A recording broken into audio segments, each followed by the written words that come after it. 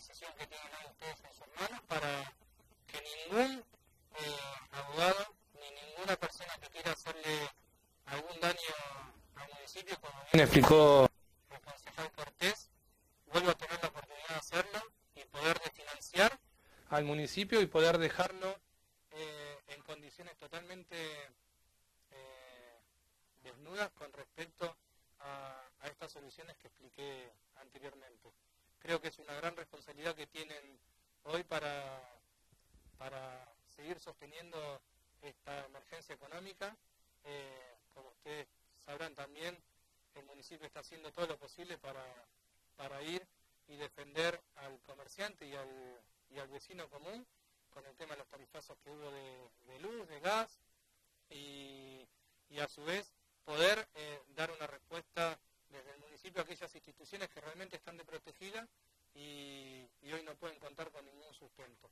Creo que lo que se está pidiendo desde el Ejecutivo es el apoyo de los concejales para seguir sosteniendo esta ordenanza de declaración de emergencia que presentó la gestión anterior. Eh, yo no quiero hablar de ninguna cuestión que tenga que ver con, la gestión anterior, quiero hablar del futuro inmediato que tiene el Bolsón y toda la responsabilidad que tenemos nosotros en, lo inmediato. ¿no? Eh, creo que, que, en comisión lo, han trabajado, me parece que están haciendo un, un, excelente trabajo. Puede haber alguna cuestión que, haya alguna duda, pero creo que del Ejecutivo lo que estamos pidiendo hoy es poder sostener una emergencia para que ningún buitre realmente nos pueda llegar a sacar todos los fondos que nosotros necesitamos hoy para poder seguir funcionando y básicamente para poder seguir sosteniendo la fuente laboral de todos los empleados municipales. Yo sé que hoy estuvieron los gremios, los gremios saben realmente el esfuerzo que estamos haciendo. Eh, yo le dije a todos los gremios cuando empezamos la paritaria que era un mérito muy importante de ellos estar discutiendo con el Ejecutivo cuánta gente pasa planta, cuánta gente se está recategorizando y no estar discutiendo cuántos se van a echar o cuántos no se van a echar.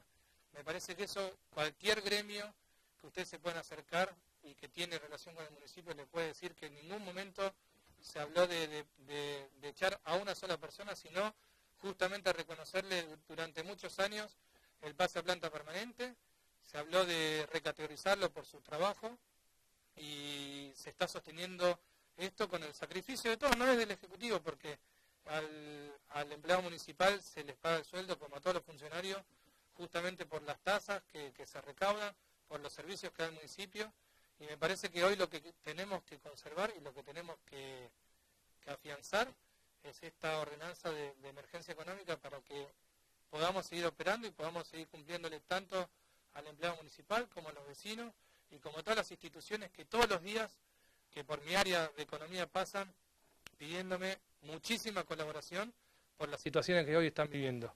Eh, desde ya le agradezco esta oportunidad, creo que el compromiso es de ustedes ahora eh, para sostener eh, esta, esta, responsabilidad con toda la población de Bosa. Muchas gracias.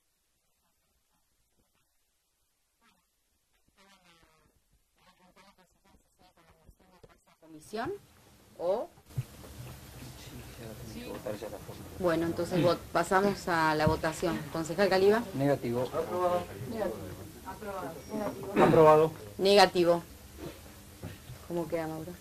Y queda negativa la moción por cuatro votos. Bueno, pasamos a votar entonces el proyecto. Concejal. Aprobado. Negativo. Aprobado. Negativo. Aprobado. Negativo. Aprobado. Y queda aprobado por mayoría, con la modificación del dictamen. Correcto.